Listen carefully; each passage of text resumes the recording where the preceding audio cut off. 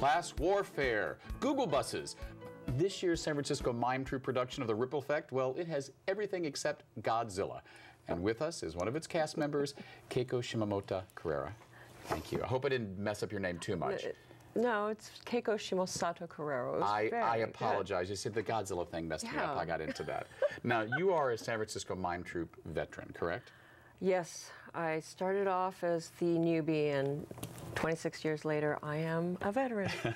Now, for those people who are not familiar with the San Francisco Mime Troupe, you and I both know it has nothing to do with mime. no, we're very loud. You were very, you're very loud and very free and very much in Dolores Park opening July 4th. But you know, a question I've always wanted to ask and never have is how did its name come about, the Mime Troupe? Why are we called the Mime Troupe? Well, in its original form, when R.G. Davis started the company, it was actually Silent Mime. Um, and it, the, it actually follows the definition of mime, which is in the dictionary, as an expression of daily life in movement, dance, and song. So what we do is still mime. It's not silent. We do political musical theater, mm-hmm. but it is still, by dictionary definition, mime. Now, my understanding of the Mime Troupe is that it is very much a commune, that the productions that we see on stage, I should say on the grass, on the uh-huh. lawn at Dolores Park, are a collaborative effort. It comes out of what the members of the collaborative want to see that year, correct? Right. We're we're a collective, and all the members of the collective. I think there's, well, I can't remember exactly how A many lot. we have. No, there's about ten of us. Mm-hmm. Um, and we decide, sitting around a round table all together, what is important to us, you know, this year. What do we want to talk about? So we come up with the ideas collaboratively, and then we come up with the artistic, creative process also collaboratively. Now, this year's production is called Ripple Effect. Yes. Tell me where that title came from, and what I'm really most interested in is, as a collective, when did you decide that what is going on now in San Francisco, this quote-unquote class warfare, was a good subject for this year's political musical theater piece? Okay. That's an interesting question because we had to come up with the title uh, when we applied for the NEA grant last year. so we came up with Ripple Effect, knowing that anything that happens is going to have a ripple effect in our community. Um, so that's how the title came around. How- Pragmatic. I'm glad to hear that's I, that's so honest. I love it. And then as as um, what's happening with with um, skyrocketing rents and developers taking over the city and people having to move out was hitting all of us. You know, each on an individ- individual basis.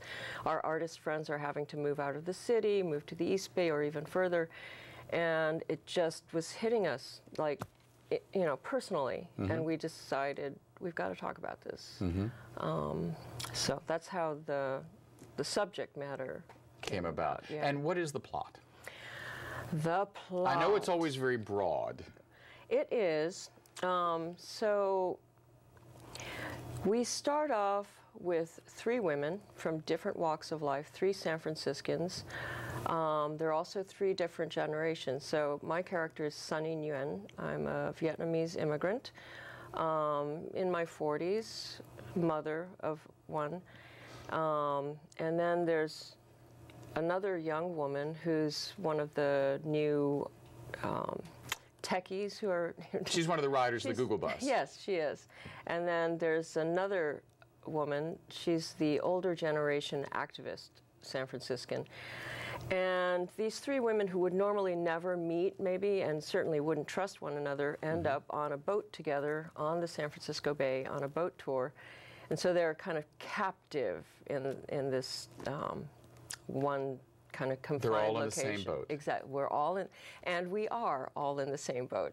Yeah, Exactly. I, am getting. It's kind of like the Three Graces meets Life of Pi. I- Right. yeah. So, in flashbacks, each of the women tells their story of how they came to be here. Um, and, oh gosh, I don't want to reveal too much, but it's revealed that the Google Bus rider has created an app which um, the Vietnamese mom finds amazingly useful in keeping track of her daughter. You Uh-huh. know, she can make sure that her daughter isn't talking to the wrong boys or Mm-hmm. wearing too low cut a dress. I can see where she's going. Once you get back home, do your homework.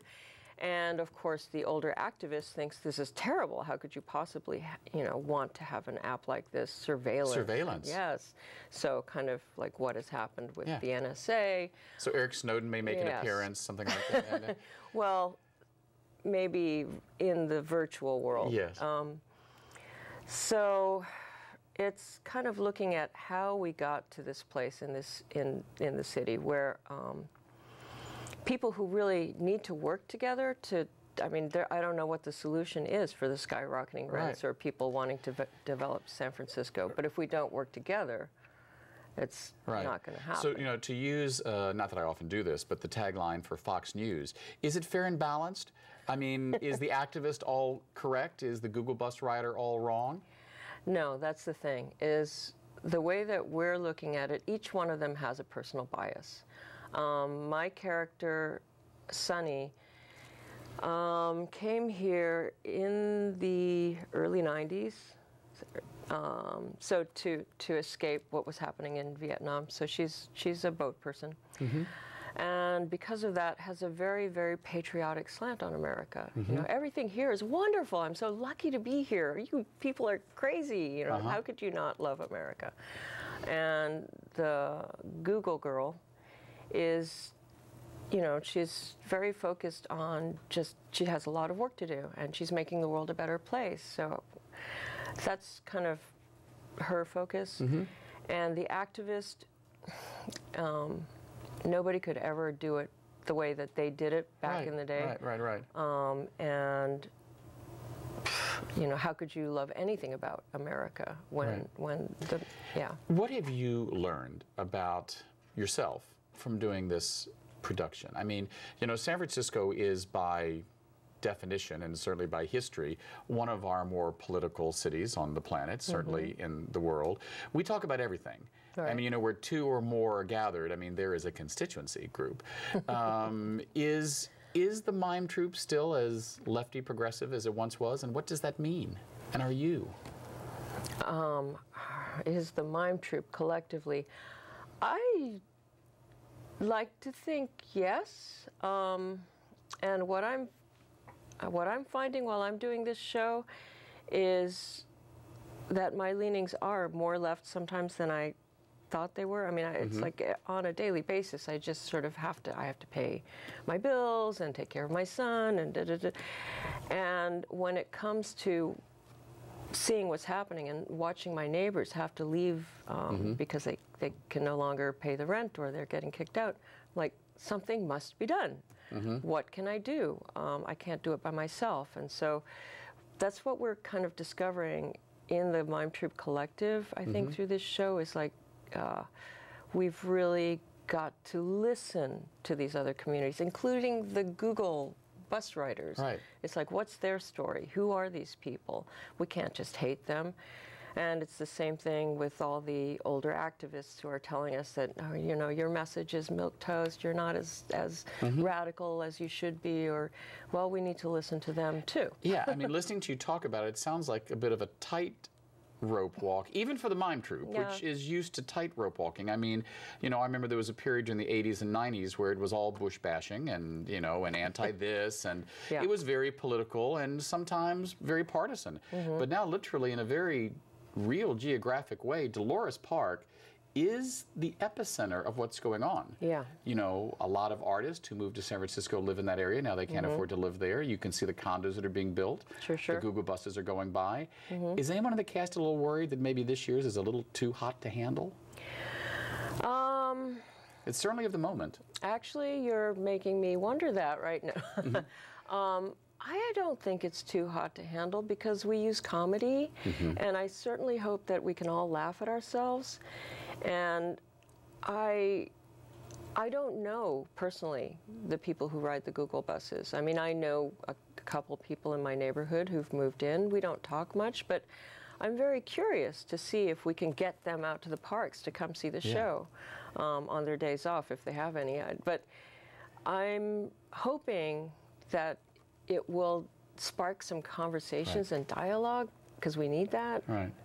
In our last few moments, talk to me about the mime troupe itself. How has it changed as an as a collective in the years you've been uh, part of it? Oh, well, I think in the past 10 years, some of the people who were original members when I joined, they all left kind of at the same time. And so now those of us who are there are, have been there within the past uh, 10, 15 years. We have a lot of new young members.